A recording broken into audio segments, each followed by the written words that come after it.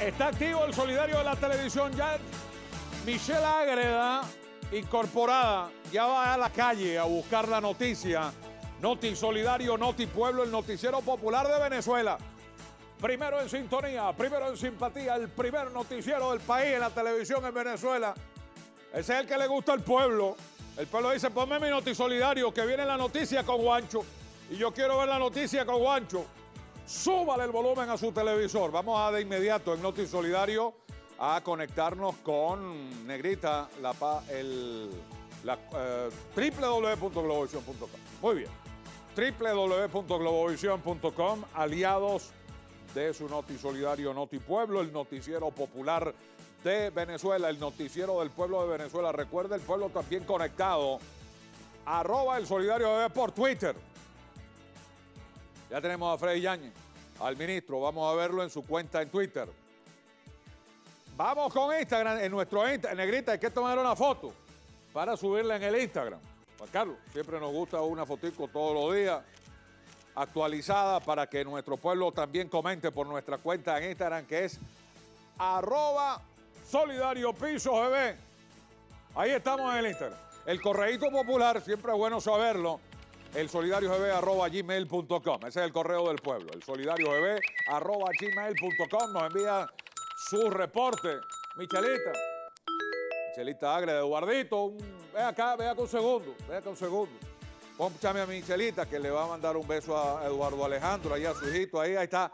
Ahí está, ahí está. Michelle Ágreda, ahí está nuestra bellísima Michelle Ágreda, nuestra reportera de Notisolidario Pueblo, enviándole un besote ahí a su pequeño hijo, Eduardo Alejandro. Dios te bendiga, Eduardito. Ahí está mi niña y mi niño también, disfrutando con tío Juancho, el solidario de la televisión. Mi niñita y mi niñito siempre dicen, ponme a Juanchito, ponme al de la manito, nos decían estos días, qué lindo tuvimos oportunidad de conocer a una señora, oye, oye, mi hijo siempre me dice antes de salirme, oye, ponme, ponme el de la manito, ahí está, la manito, la manito amiga de las niñas y los niños de Venezuela, de nuestra amada y santa infancia en Venezuela, la manito Rolandito del Solidario de la televisión. Ahí viene Rolando también con entusiasmo. Ahora sí, vamos a comenzar a ver las noticias, que el pueblo de la noticia primeramente en Noti Solidario, pero vemos a la cuenta en Twitter del ministro de Comunicación e Información, el ministro Freddy Ñáñez, en relación al más reciente informe de casos de COVID-19 en nuestro país. La cuenta del ministro Freddy Ñáñez en Twitter, arroba lucha almada, 405 casos nacionales. Para este día 28 de enero de 2021 el corte, semana 44 del día 319. Vamos a detallarlos por entidades federales. Área metropolitana de Caracas. Una de las noticias que vamos a destacar es la designación de Naún Fernández. Lo vamos a ver ahora como nuevo jefe del distrito capital. Caracas, 101 casos Seguido del estado Miranda 81, gracias Negrita. Carabobo 79, 79 casos. El estado Zulia 32. El estado Cojedes, atención, Vanesita Carolina. Tinaquillo está aquí presente en el solidario de la televisión con Vanesita Carolina Peraza, al frente allí de él a esta hora de nuestro Bizarti. Barinas, decíamos Cojedes 30, Barinas 17, el estado Yaracuy con 13 casos, el estado Trujillo 11 casos, Lara con 7 casos, el estado Sucre oriente del país, Bolívar al suroriente y en la costa el estado La Guaira con 6 casos cada uno. Nos vamos a la región insular, Nueva Esparta registra cuatro casos. En el oriente, Anzuategui registra cuatro casos igualmente. El estado Falcón con tres casos. El estado Guárico con dos casos.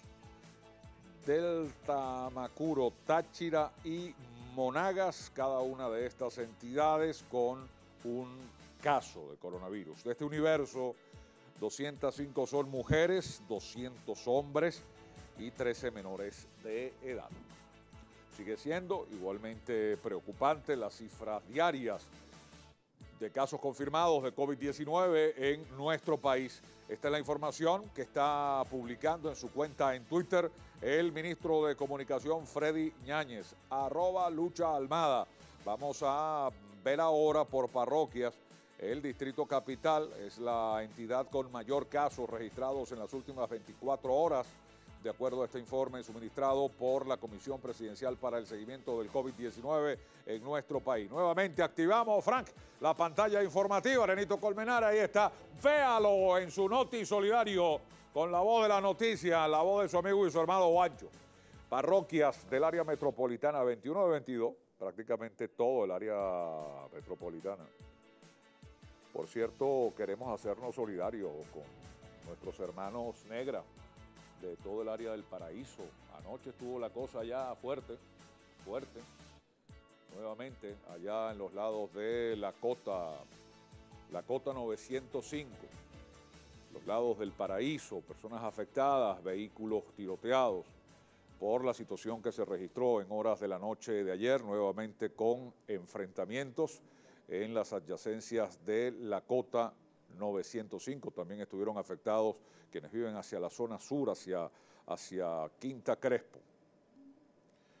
Vamos a detallar entonces por parroquias los casos de coronavirus, de acuerdo a la información suministrada por el ministro Freddy Ñáñez, ministro de Comunicación. La parroquia Sucre, con 14 casos, Coche con 13, el Valle Argenito con 12 casos, Altagracia y La Pastora con 8 casos, San Agustín con seis casos. El Paraíso, el Recreo, cuatro casos. San José, el Junquito, San Juan, Catedral, Antímano, tres casos. San Bernardino, San Pedro, 23 de enero, La Candelaria con, y La Vega, con dos casos. Santa Rosalía, Caricuao y Santa Teresa con un caso. Lo decíamos, 21 22 parroquias afectadas. Residentes de otros estados captados en Caracas, cuatro casos. 101 casos. También nos están escribiendo por acá, Juancho, igualmente viviendas, viviendas afectadas eh, por la situación que se registró ayer de enfrentamientos armados en la zona de la cota 905. Vamos a revisar ahora los casos importados de acuerdo a la información que suministra el ministro Freddy Ñáñez a través de su cuenta en Twitter, arroba los casos importados de acuerdo a la información que suministra el ministro Freddy Ñáñez a través de su cuenta en Twitter, arroba Lucha Almada. Nuevamente activa la pantalla informativa de Venezuela, la pantalla de su Noti Solidario Noti Pueblo, el noticiero popular de Venezuela. Un caso solamente procedente por la frontera del Táchira desde Colombia. Se trata de una mujer. Un solo caso internacional en esta semana 44, día 319. Vamos a revisar ahora la información que suministra el ministro Ñáñez de los fallecidos como consecuencia del COVID-19 19 en el informe de las últimas 24 horas. Vamos a revisar la información nuevamente activa, la pantalla que da la noticia al pueblo, la pantalla de su noti solidario. Ahí está la cuenta, arroba Lucha Almada, ministro Félix Iñáñez, lamentablemente reportamos seis fallecidos, dos hombres de 63 y 86 años del estado Miranda, un hombre de 65 años y un niño de dos añitos en el estado Lara. Un hombre de 62 años del estado Yaracuy, un hombre de 73 años del estado Mérida. Condolencias a sus familiares y seres queridos. Información que suministra el ministro Freddy Ñáñez y nos unimos a estas palabras de condolencia por quienes nos toca despedir como consecuencia de complicaciones por el coronavirus. Hablando del COVID, nos informa la negrita Adriana Benavides, coordinadora de Noti Solidario, Noti Pueblo, el noticiero popular de Venezuela.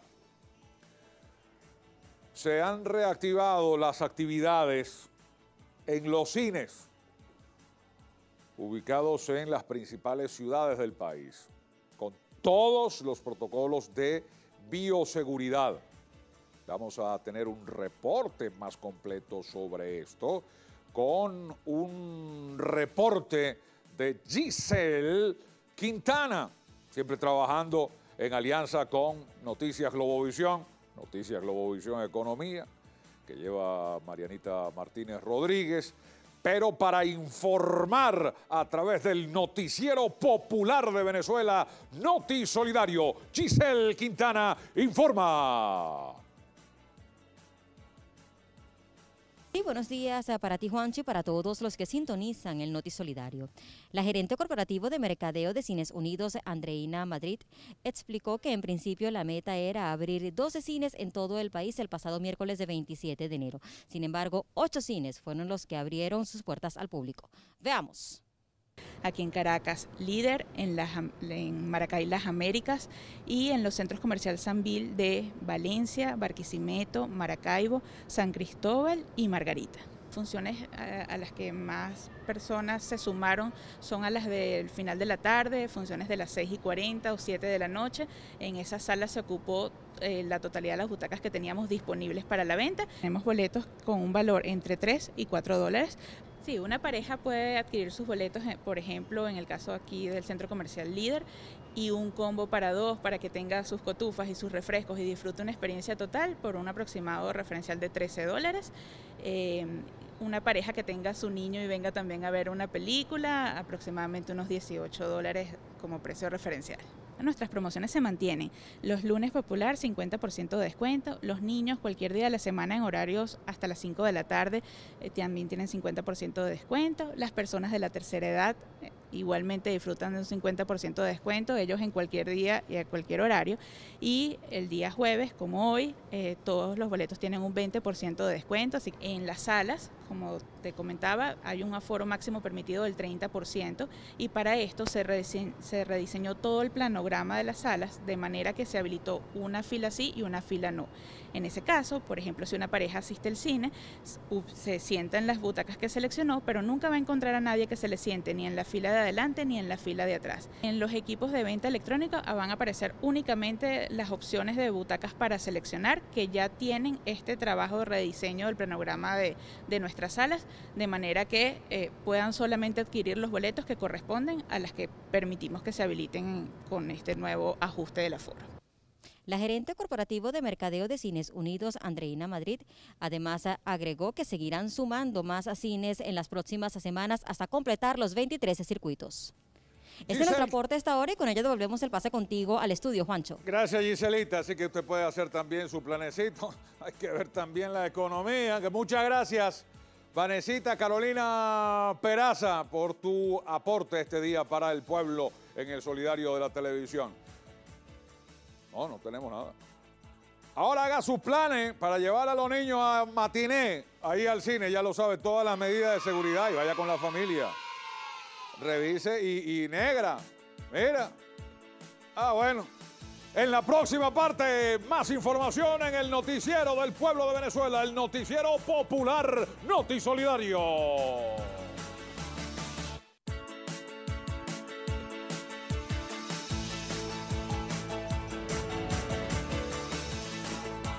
Aliados del Universal, a todo también el equipazo que trabaja de la mano con el solidario de la televisión para llevar la información al pueblo de Venezuela a través del noticiero popular Noti Solidario, Noti Pueblo, el noticiero del pueblo de Venezuela. Negrita.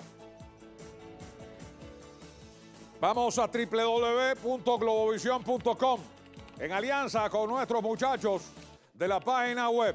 Naún Fernández, comentábamos anteriormente, ha sido designado como nuevo jefe del distrito capital. Tenemos la pantalla informativa de Venezuela, la pantalla gigante de su noti solidario. Dice la información en detalles. Designado Naúm Fernández como nuevo jefe de gobierno del Distrito Capital. El Ejecutivo Nacional designó este jueves a Naúm Fernández Molina como nuevo jefe de gobierno del Distrito Capital. Sustituirá a Jacqueline Faría, quien ejercía el cargo desde mediados de agosto de 2020 tras la muerte de Darío Vivas. He designado como nuevo jefe de gobierno de Caracas a Naúm Jepte Fernández Molina, joven revolucionario y luchador, quien desde ahora en adelante estará asumiendo este importante compromiso a la batalla y a la victoria. Naum, siempre al lado del pueblo caraqueño, escribió el presidente Nicolás Maduro en la red social Twitter. Está, por cierto, publicado el tweet del presidente Nicolás Maduro, su cuenta arroba Nicolás Maduro, en esta nota que publica www.globovision.com. Aún fue ratificado como presidente periodo 2020 en el Consejo Municipal del municipio Libertador. Es información que usted también puede ver en www.globovision.com. Aliados de su Noti Solidario, Noti Pueblo, el noticiero popular de Venezuela. Tenemos más información a esta hora el alcalde del municipio Chacao, Gustavo Duque, presentó el plan de inversión para obras y programas sociales en esa jurisdicción. Osmari López para Noti Solidario, Noti Pueblo, informa. Sí, Juancho, un gusto saludarte a ti y a tu audiencia tan querida. Efectivamente, el alcalde del municipio Chacao, Gustavo Duque, presentó el plan de inversión de obras y programas sociales en el municipio durante este primer semestre del año 2021. Duque detalló la implementación de nuevas estrategias para garantizar el cumplimiento de las medidas de bioseguridad por la pandemia de COVID-19, pero también la implementación de nuevas estrategias, nuevos planes en materia de seguridad, economía, salud, cultura y educación. Esto es lo que nos comentó. Hemos diseñado un plan que va a atacar los principales problemas de los vecinos del municipio de Chacao. Seguiremos con nuestro plan Unidos por Chacao, que está protegiendo a miles de vecinos del COVID-19, entregando no solamente medicina, sino dando acompañamiento, comidas y supervisión sobre todo lo que está ocurriendo con la pandemia. También invertiremos en la el asfaltado del municipio. Seguiremos asfaltando prácticamente todo el municipio. Ya la iluminación está casi un 100%, iluminación LED, que se puede ver ya con hechos. Con respecto a los servicios públicos, el problema principal sigue siendo el problema del agua. Y si bien hemos realizado y hemos generado algunas reuniones con Hidrocapital, hemos decidido también hacer otras cosas para ayudar a nuestros vecinos, entre lo que destaca los pozos profundos que ya están funcionando, llevando agua directamente a los tanques de nuestros vecinos y con un plan de cisterna que está llevando agua totalmente gratuita. 10.000 litros por cisterna a los lugares donde más haga, falta. También en este año 2021 hemos decidido eh, invertir recursos en lo que consideramos más necesario, el tema de la seguridad. Estamos ya suscribiendo un contrato con una empresa de seguridad para colocar aproximadamente 80 cámaras de seguridad de primera tecnología que van a reportar en el 171, nuestro CICE, nuestro centro de comunicaciones, que el cual estamos reparando, estamos eh, en este momento acondicionando, estará listo en unos tres meses y haremos el lanzamiento no solamente de las cámaras, sino del nuevo centro de comunicaciones policiales. Duque detalló que Chacao, así como los distintos municipios que conforman el territorio nacional, enfrentó varias dificultades durante el 2020, sin embargo, aseguró que trabajan para garantizar la calidad de vida de los vecinos de Chacao durante este nuevo año 2021. Es el aporte que tengo para el Noti Solidario el noticiero del pueblo y con esto retorno el contacto contigo al estudio, Juancho. Bravo, Mari López, nos complace mucho, negrita querida, tenerte acá como parte del noticiero del pueblo de Venezuela. Noti Solidario, incorporada como reportera popular. Y siendo Chacao cuenta con el solidario de la televisión como nuestro hermano del manicomio. Aquí nos está escribiendo el vocero popular, Sergio Tobar denunciando a través del Notipueblo. Dígalo por Notipueblo para que lo sepa toda Venezuela. Buen día, hermano Juancho. SOS, el Lídice Manicomio, las dos alcantarillas de la principal del Lídice están a punto de dañarse y todos los habitantes y todos los habitantes del Lídice y Manicomio nos vamos a quedar sin metrobús y transporte público. Se pregunta el pueblo del Lídice.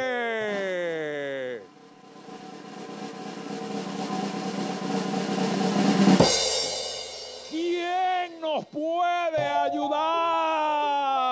¿Qué está pasando? Con la autoridad se dañan las dos alcantarillas, después se queda la comunidad sin Metrobús. Dice el pueblo, estamos cansados, hay que actuar. ¿Hasta cuándo? Se pregunta el pueblo. Denúncielo en el solidario de la televisión. Dos semanas, bote de agua. Que viene del hospital. Eso es dice. Ahí está cerquita mi galletica bella. Ahí está también denunciando Patiño como vocero. Bote de agua, viene del hospital de dice. Hay que atender eso. Te tiene que ver si es autoridad el solidario de la televisión, porque aquí el pueblo se lo dice. Aquí no estamos maquillando nada. Aquí presentamos las cosas como son, porque la presenta el pueblo. Eso principalmente para servir al pueblo de Venezuela. Vamos con más información. www.globovisión. Está sabroso este Notipueblo, el noticiero solidario. Noti Solidario, el noticiero popular de Venezuela. Frank, vente por acá nuevamente. Activamos, gracias a nuestro hermano Eric Colmenares, estas declaraciones del gobernador del estado Miranda, Héctor Rodríguez Castro. A Miranda no lo divide nadie. ¿eh? El gobernador del estado Miranda, Héctor Rodríguez Castro, rechazó la posibilidad de incorporar los cuatro municipios metropolitanos de la entidad, Chacao, El Atillo, Baruta y Sucre, al distrito capital, al considerar que la entidad es una región que debe permanecer geográfica y políticamente unida aseveró que el Estado no será dividido en virtud de que se ha trabajado desde su gobierno por consolidar el diálogo, la paz y la unidad. A Miranda no la divide absolutamente nadie. Esta propuesta no cuenta con nuestro apoyo y eso no va a suceder, declaró el mandatario regional. Desde hace tres años, Hemos trabajado para unir a Miranda en tener presencia en todos los ejes territoriales en igualdad de condiciones y acabar con la postura de que Miranda es un estado complejo con muchas diferencias sociopolíticas, manifestó el mandatario regional en el acto de inicio del plan de formación para las juntas de condominio del estado Miranda este jueves en Chacao. Dijo que ejercerá todo su liderazgo para mantener la unión en todos los ejes territoriales. Esta información léala usted en detalles en www.globovision.com. Aliados de Noti Solidario, Noti Pueblo, el Noticiero Popular de Venezuela, Negrita, Elenita Flores, la petaleña, está escribiendo para Noti Pueblo. Dígalo en Noti Pueblo para que lo sepa todo Venezuela. Buenos días, amigo Juancho. Buenos días. Ahí estamos, con entusiasmo y con cariño. Juancho, por las calles de la parroquia Petare se siguen vendiendo a precio especulativo los productos de la bolsa CLAP. Sin, sin que haya autoridad que lo impida, esto no puede continuar. Pero lamentablemente, dice Lenita Flores, la petareña, los comuneros y las autoridades lo que buscan es lucrarse, golpeando los bolsillos del pueblo no hay derecho a que se permita tanto abuso en Petare. Lo dice Elenita Flores, colaboradora de Noti Solidario, Noti Pueblo, el noticiero popular de Venezuela.